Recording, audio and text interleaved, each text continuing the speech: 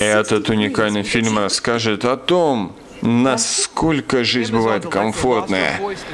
Да, эта штуковина одолела весь мир, она захватывает. Просто посмотрите, поглядите, ты что, серьезно? Да, я решил захватить мир, господи.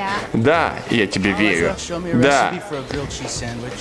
Короче, тут такая тема. Утром я встал, открываю окно, и тут у меня все есть. Мы два брата гомосеки. У нас все есть. И спорт, ноутбук, пацаны. Короче, на каждом этаже мы живем по отдельности. Да, что?